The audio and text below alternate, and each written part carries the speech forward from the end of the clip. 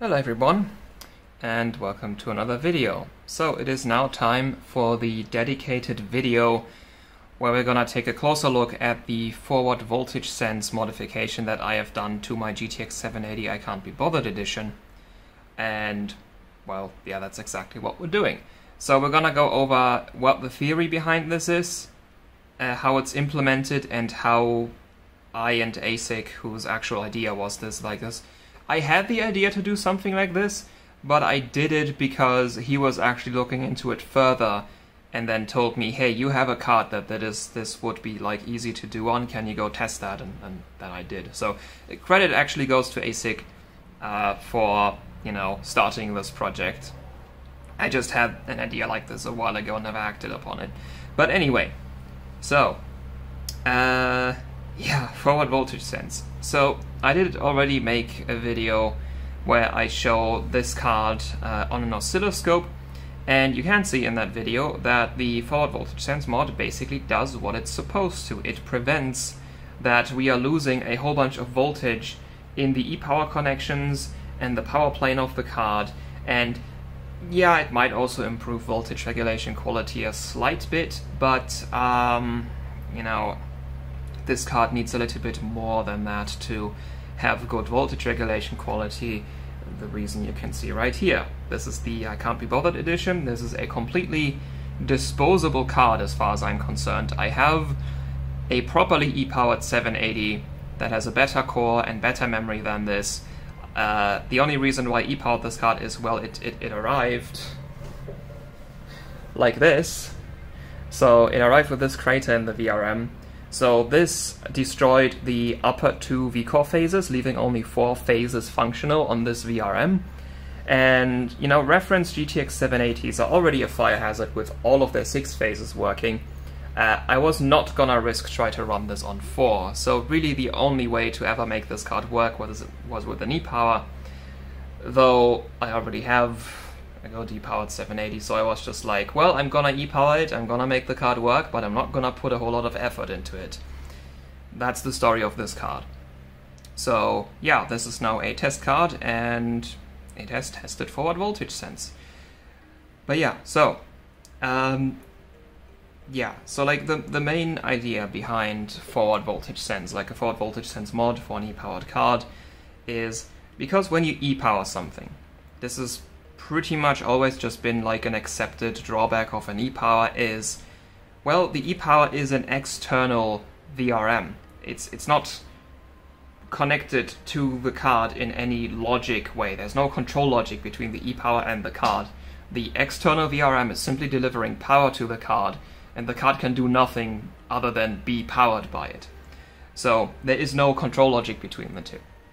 Which can be good, like, you won't have a power limit anymore, for example, because the card literally has no way to enforce a power limit with an external VRM, but this also has drawbacks, because, well, since the e-power board is in itself a completely functional unit, it does not depend on the card to work.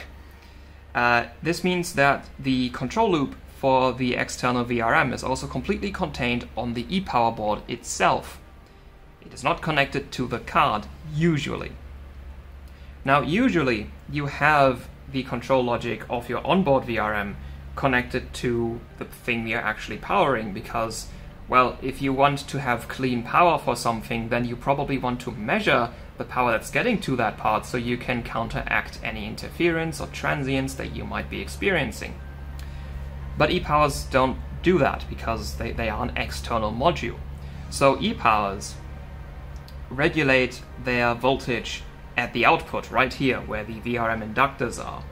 They don't regulate it based off readings from the part that you're actually powering, again, because they are just independent modules. And this leads to the main problem that you just drop a lot of voltage because even though these are pretty thick uh, power, like copper strips, and then the power plane and the PCB is also quite wide, it, it still has a real world resistance, inductance, and capacitance. And that is something the e-power cannot compensate for because it cannot measure the impact that these real world uh, phenomena have on the voltage. And that's basically what we want to implement with the forward voltage sense mod because we have removed this VRM's reliance on this spot right here to regulate its voltage and we have rewired it to the, the, the backside of the core which now makes this e-power at least as far as voltage uh, um, referencing is concerned, act like it is actually an integrated VRM, not an external one. Because now it's regulating the voltage based on what's going on here, not here. So all the voltage drop that happens in between, in, in the connections, the soldering, the onboard power plane, all of that can now be compensated for.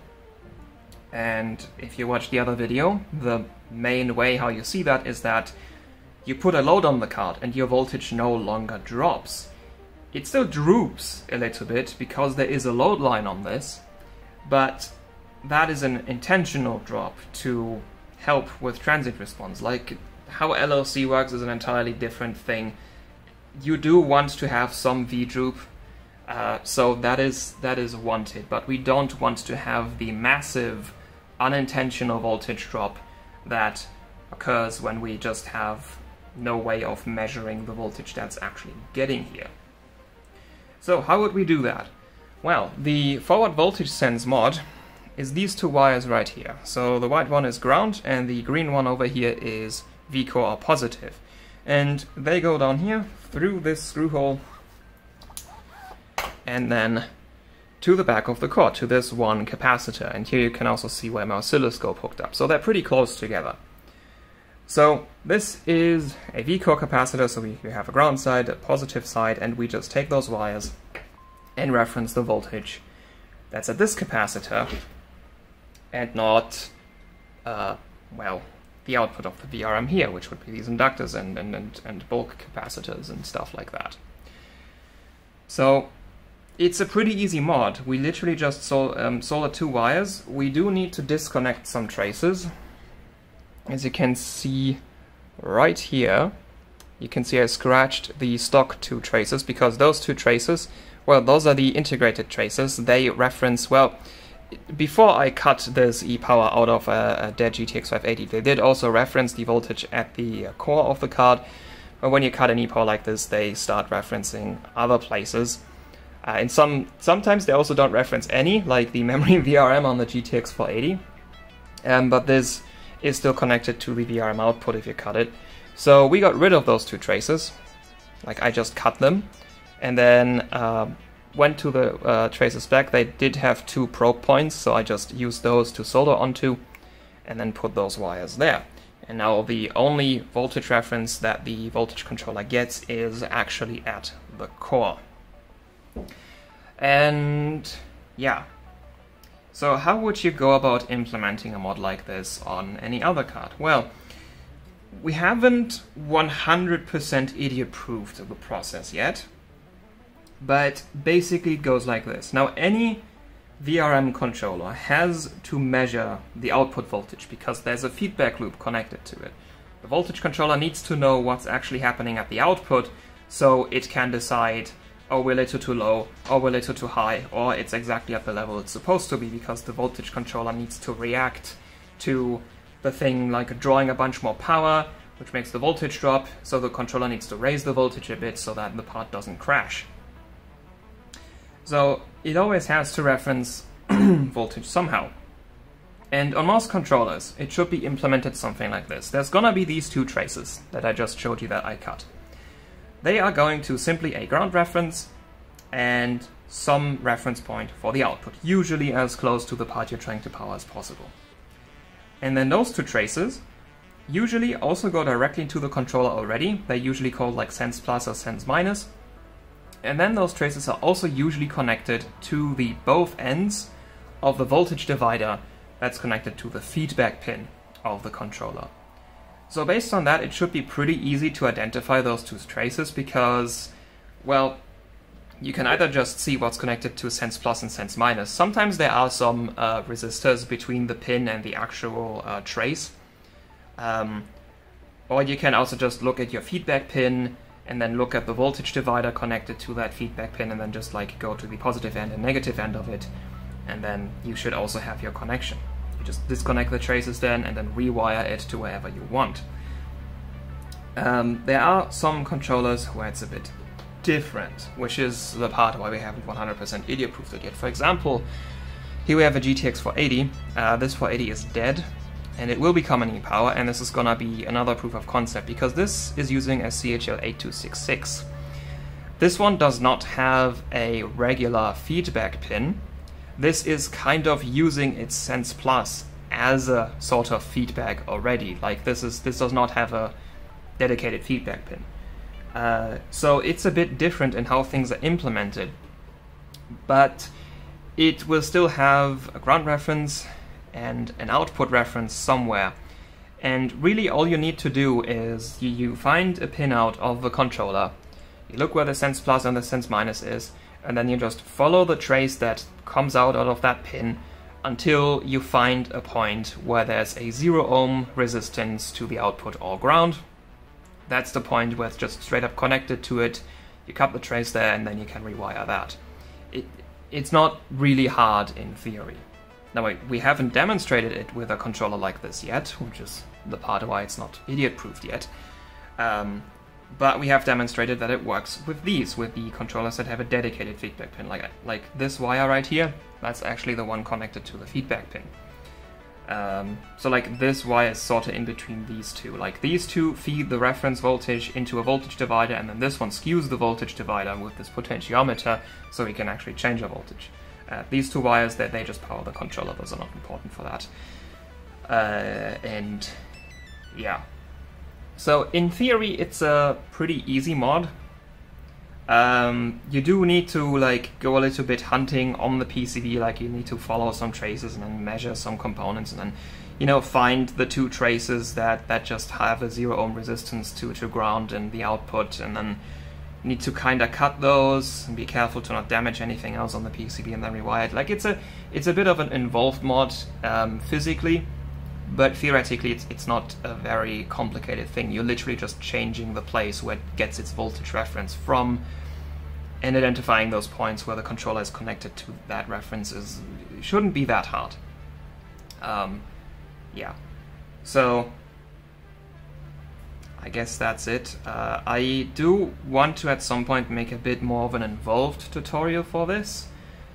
Uh, like, it, yeah, because like, I mean, people that that do e-powers and stuff like this regularly, that the what I've just said will be just fine for them and they'll be able to do it. But like, people that uh, are watching this content to like get into overclocking and understand what what we're doing here uh, this explanation might not be uh, the best for that, since I just used a lot of technical words and, you know, I can't really show anything because, like, this is just, you know, for this one PCB.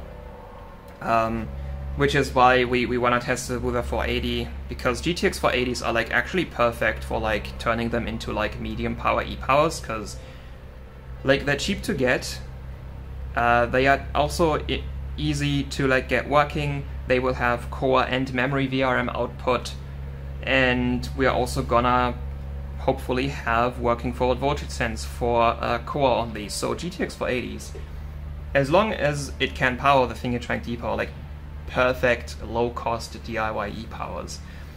So, yeah. And I guess that was mostly it. I like, at the end of the day, it's just two wires that lead to a different point. So, it's a 14 minute video only. I, I, I promised to turn two wires into a 20 minute video, but I guess that's not happening. Well, I guess with the other video, it's like way more than 20 minutes anyway. Yeah, I, I, I hope this makes somewhat sense. Uh, like, other people that are e-powering their cards, feel free to experiment with this. Like, see if you can maybe see more like better improvements because like this e-power the, the connections are really bad. Because of that i can't really like say a lot other than hey the voltage doesn't drop under load anymore. Um, because i am interested in knowing like what uh, voltage regulation quality and transient response uh, implications this has because it should make it a bit better. Like it should, but I, I can't put a number on it. I can quantify how much it does, because this this is just an, a horrible e-power job. Like once I turn this card into an e-power, I don't know what I'm gonna connect it to yet, but I'll, I'll find something. Uh, then maybe I can make a proper test. But uh, you know, other people, like I don't know, uh, who who does this? ASIC does e-powers, Exaberries does them, Bullseye does them. Tag, like, there's a bunch of people uh, with YouTube channels that uh, also do e-powers. So, any of you are watching, feel free to try this. Uh, and with that, yeah, uh, video really is over now. Goodbye.